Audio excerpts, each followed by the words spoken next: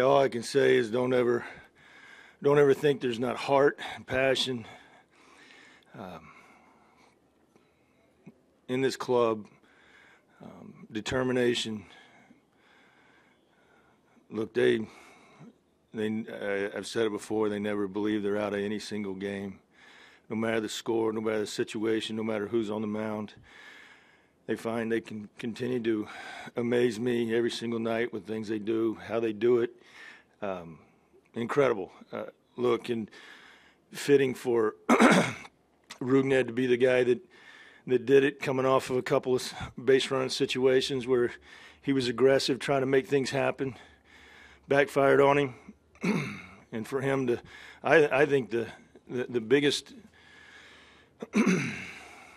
pitch of the night for him was laying off the slider right before the that pitch, and, and that, that's a pitch that we've seen him chase. That's a pitch we've seen him swing at and miss or roll over to the second baseman. But uh, what a great, what a great at bat! What a great at bat by by Beltre. Look, there were some terrific at bats all night long, but uh, just incredible all the way around.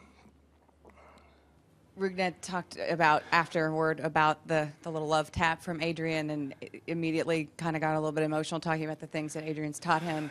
Just what is he like? Is it so emotional and so, um, but yet so willing to listen and learn and to have that talent and be able to also have that aspect to your game? How valuable is that to him as a player? Oh, it's it's incredible, uh, invaluable, really. Um, Adrian just the wealth of experience, how he communicates with with those young guys, and how he's able to translate the information, and and for a guy like Rugi to to go ahead and put some of those things in play, um, it's it's invaluable to to this club, uh, to these guys. Uh, they're they're learning from a guy that uh, has done just about all there is to do in the game, and he has a, a, way of, of helping calm situations down for some of these guys out on the field uh, and in the dugout. So uh, what it, it, goes back to these guys being talented. Uh, you're right; they're talented. They they're skilled. They and, and because if you're not, you you're incapable of of doing things like that and, and using that information to go out and, and produce. Jeff, in a sense, did that comeback start in the eighth when you made uh, Diaz throw 24 pitches? I think so. Look, it's it's hard to get six outs for a save. It's extremely difficult, and uh, I, think our guys um, making him work. Uh, obviously, that uh, he was had I think the first couple outs in, in seven pitches. It was, and for our guys to to, to continue to battle away uh, and put 20 more on him and uh, and have him go back out there a- after that inning. Uh, obviously, uh, probably not as sharp as, as he was in the first. So, uh, but yet, look, he's still a, a dangerous pitcher. He's done it before. He's gone out there in those situations. I believe they've used him in that type of situation. He's been successful. So, uh, you know, we felt good with uh, Beltran at the plate there with two outs, and we still still felt good going in. If we could keep it to a one-run game, we uh, which Bush did a fabulous job coming off of an inning where he was challenged.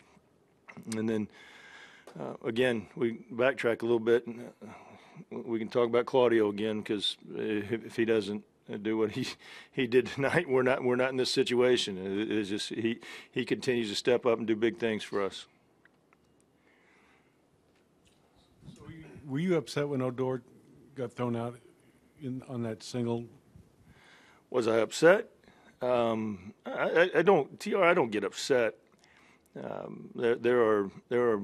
Look, it's a, it's a guy trying to make a baseball play. Uh, he, he's aggressive. We know that. We love that about him. We there is a, a certain margin of error in, in, in some situations, and um, it's just it, it's a play that uh, is right in front of him. He, he felt like he could get there. Uh, outfielder made a great play on him and, and threw him out. I'm not upset. It's just you know the the turn of events there um, just wasn't the outcome we were looking for. Just to go way back for a second, Hamels hasn't had control like that since those two starts against Minnesota when he had the blister. Did the blister by any chance pop up again today? No, no, no. It wouldn't. There- There wasn't a blister. I just think there was a a night where Cole was he was fighting himself. He was getting a little too deep and in the back and trying to get the ball out front, and just couldn't get the ball where he wanted to, and um, so it was just it was a night that look.